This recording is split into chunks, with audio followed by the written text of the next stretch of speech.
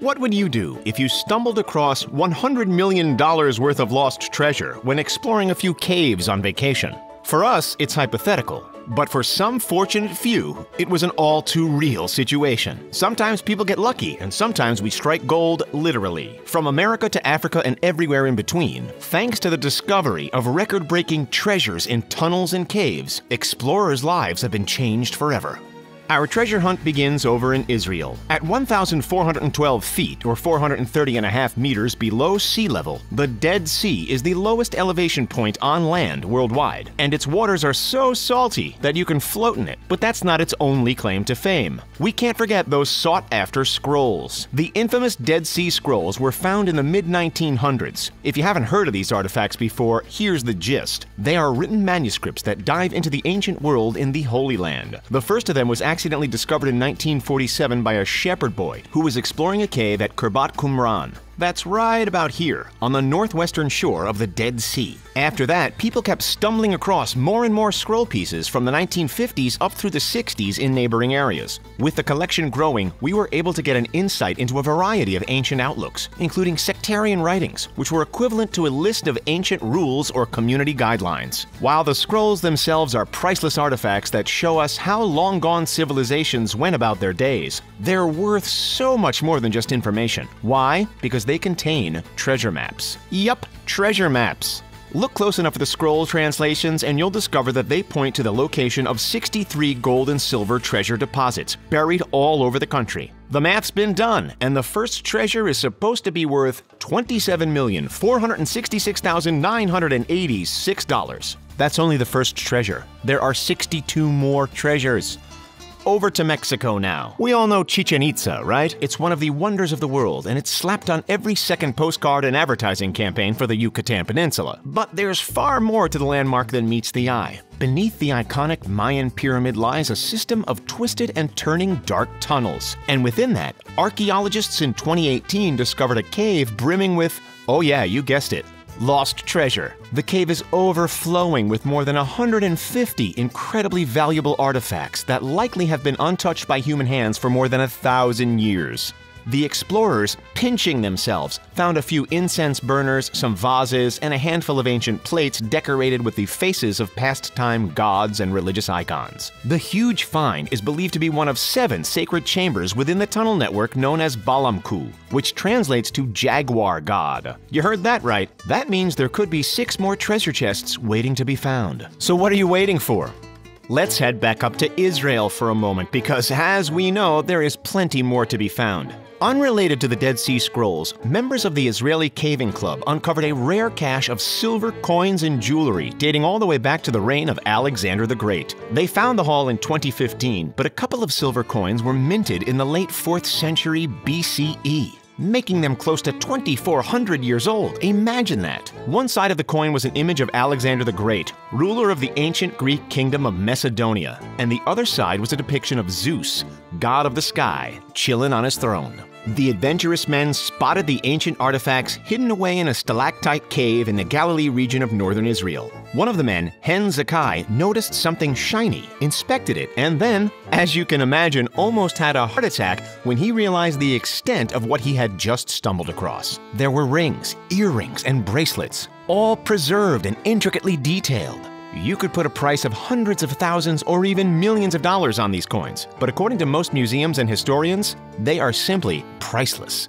All right, time for a quick trip over to China. It was here near Xi'an that a group of Chinese farmers in 1974 uncovered what is now considered one of, if not the most important archaeological treasure in all of Chinese history. As the story goes, the seven man team was digging a well when one of their shovels struck the head of a buried statue. At first, they thought it was a single ancient Buddha sculpture, but it wasn't just one, it was 8,000. And it wasn't a Buddha sculpture, they were life-sized terracotta warriors. The army of soldiers plus a handful of horses and chariots were supposedly built way back in the 3rd century BCE intended to protect the emperor at the time, Emperor Qin Shi Huang, when he fell into the afterlife. One terracotta warrior on display at the Franklin Institute in Philly is estimated to be worth $4.5 million by the FBI. Doing the math, that would put the Army's value at 36 billion. Wow!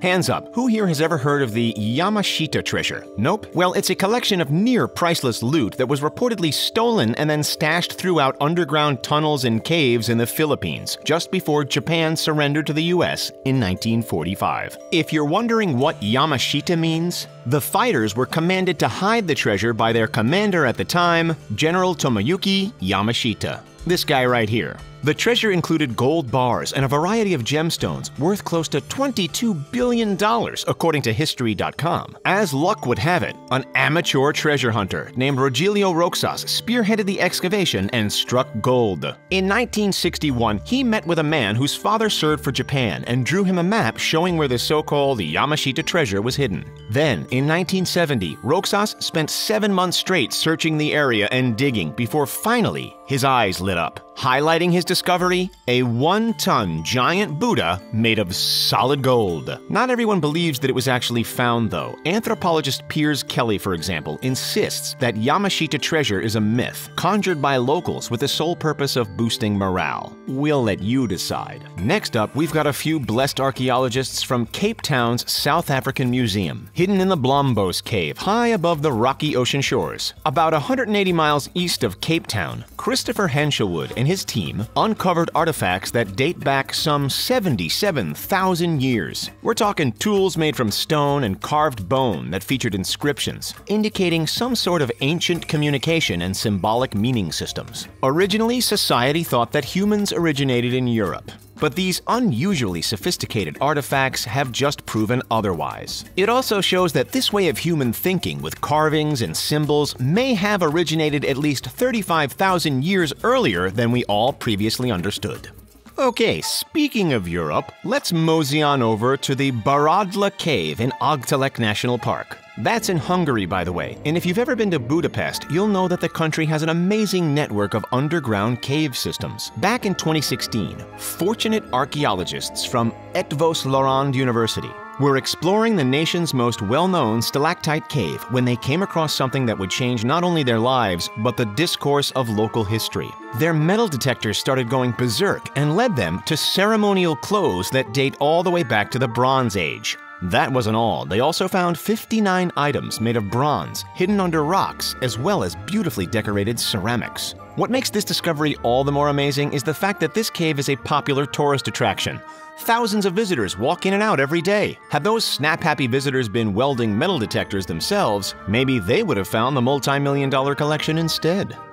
If you're a lover of famous art, or if you're a dedicated Simpsons fan, then you'll surely recognize this next fascinating discovery. It's the Venus de Milo, an iconic armless statue that spent centuries buried on the Greek island of Melos. That's this one, right here. One lucky peasant changed that. His name was Yorgos Kentrotas, and he stumbled across the top half of the 80-inch sculpture in 1820 while trying to salvage a few marble building blocks from a pile of ancient ruins and rubble. The find could have been even more valuable had Venus not had her arms and jewelry stolen. An expensive bracelet, a pair of earrings, and a headband were all originally attached. Even still, these days the beloved statue is thought to be worth hundreds of millions of dollars. Quick geography quiz. Where is Lesotho?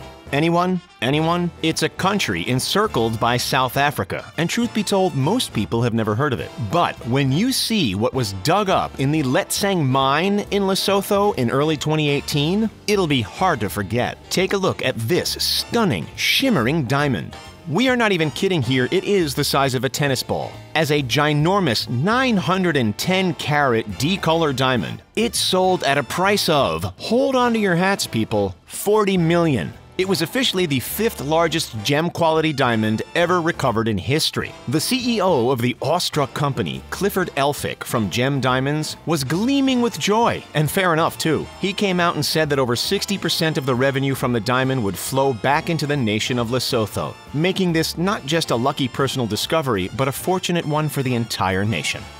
Sometimes we find artifacts, sometimes diamonds, and sometimes literal pirate style treasure chests stuffed with gold. But compared to our next accidental discovery, they're all relatively small. This, folks, is the Derinkuyu Underground City. It's not the location of our next find, it is our next find.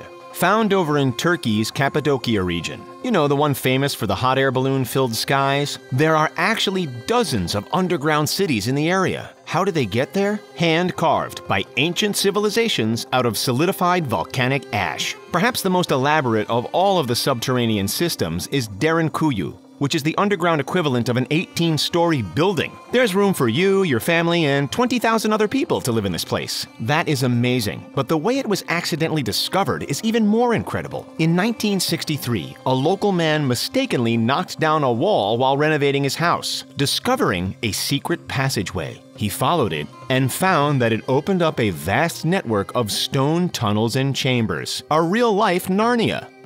Usually we'd wrap it up here, but we've got a quick bonus entry that will blow your mind. In January of 2020, a man from Owosso, Michigan named Howard Kirby went out to buy a secondhand couch. After a few weeks of sitting on it at home, he thought it was a bit uncomfortable. It turns out that there was a reason for the poking and prodding. The cushions, instead of being stuffed with fluff and feathers, were packed to the brim with cold hard cash. All up, $43,000 was hidden in the cushions. Now, believe it or not, Howard returned every single last dollar of it. Would you have done the same? Let us know in the comments. That's all for now. Don't forget to like and subscribe, and stay safe, everybody. Thanks for checking out The Richest. We'll see you next time.